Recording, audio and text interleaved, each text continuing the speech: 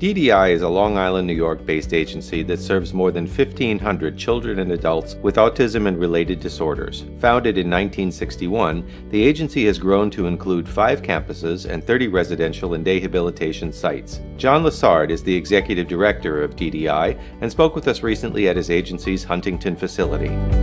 Hi, I'm John Lessard. I'm the executive director of Developmental Disabilities Institute in Smithtown.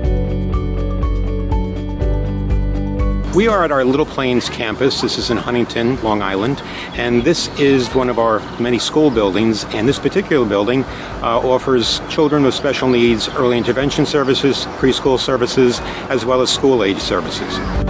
Well, what's special about this is really the success that pro- these programs have. Um, our early intervention program, which cares for children from birth through three years of age, has been enormously successful in helping children achieve the gains that they need so that they can be normalized within their communities and attend their local community preschools and school programs. Likewise, with our preschools, we have a tremendous success rate for these children ultimately being able to go back to the home district and be supported in their natural communities. You know, one of the other special features of this campus that we're at right now is um, a 24 bed children's residence that we just opened in August of last year. Um, this residence was designed again for children who have severe disabilities, principally autism, um, and children who were either already placed out of state so it's an opportunity to bring these children back to live in their own communities, closer to their families and friends. Or it was for children who were at risk of being placed out of state because unfortunately there just aren't enough children's residential beds in the state to meet the needs. So the addition of our 24 beds, which now brings us to a total complement of 65 beds agency wide, is really giving 65 families an opportunity to have their children um, supported by DDI and the expertise of our staff, and also to be close to home and close to family and friends. Well, the challenges that we face are almost too numerous to count these days, it seems. Um, generally speaking, uncertainty. The whole system that we're in right now is just fraught with uncertainty. The OPWDD services, which support our adults and children with developmental disabilities, is transforming itself into a managed care model. Our special education services are still stuck with a tuition calculation rate for programs like ours that really underfund our preschool and school age programs. And when you don't have the funding you need, well, then you end up with problems like trying to make sure you can retain quality staff because you need to be able to provide raises and good benefits in order to attract the kind of staff that these children need and deserve. Well, the children that attend our programs um, really come from the, the local public school districts. Uh, these are children where the school district has made the determination that the child's special support needs because of disabilities can't be met in the local districts. So they look for providers like DDI and our expertise to ultimately serve them. So our children are basically children who, if they were not, if they did not have a developmental disability, would be serviced in their own local school district. And the irony in that is that the public school districts and the teachers who support children in the public school districts have an opportunity to earn far more salary than our teachers can.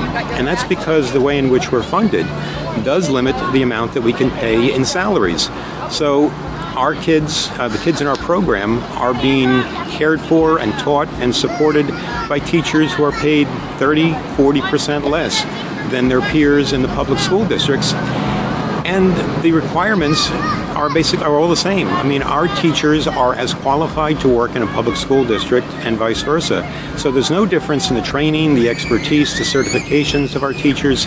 Yet again, we're, we're saddled with a system that doesn't allow us to pay our teachers commensurate with what the teachers in the public school districts get paid, basically to care for the children that came from the public school districts. Well, one of the challenges that immediately comes to mind is the challenges that some of the parents of our adult children are feeling. Uh, parents who have been caring for their own adult children in their own homes, and parents who are now aging themselves. Uh, they're developing their own physical limitations. Um, and they really need to have their children cared for on a permanent basis in some sort of a 24 hour supervised setting. And unfortunately, the days when there were funding for those kinds of services and providers like DDI could build 24 hour uh, su- supervised group homes, those days are behind us. And while there's a lot of good things happening, um, to provide more and new and unique services for people with disabilities. Most of those services are not really well suited for individuals who really have severe behaviors, who really need that 24 hour support.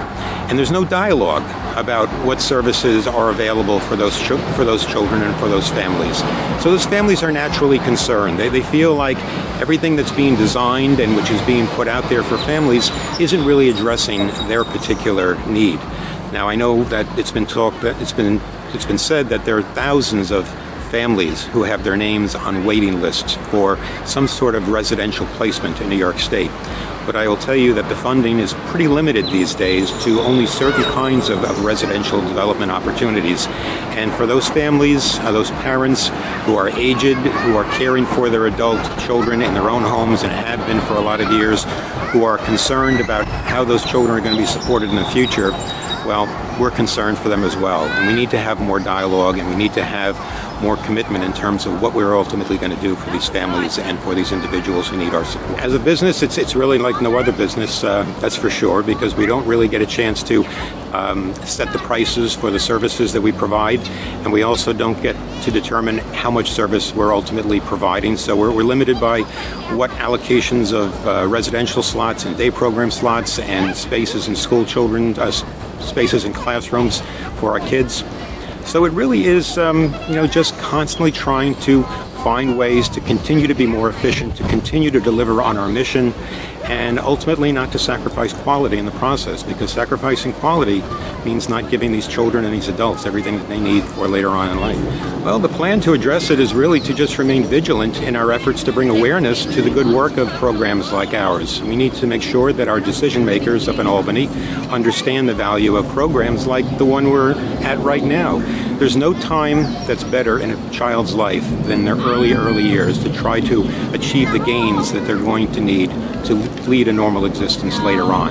And there's numerous studies to demonstrate that early intervention and preschool programs that focus on trying to bring about these gains in children are truly successful and ultimately reduce the amount of supports that these children will need later in life. Well, I don't know that I have a particular message for my fellow CEOs. I think we're we're all in the same boat. We're all feeling the uh, the uncertainties around us. We're all saddled with the same challenges. I think we're we're actually looking to each other though for solutions. I think we're seeing a lot more collaboration, a lot more sharing of resources, and opportunities ultimately to continue to try to provide the services we do with um, with limited funding.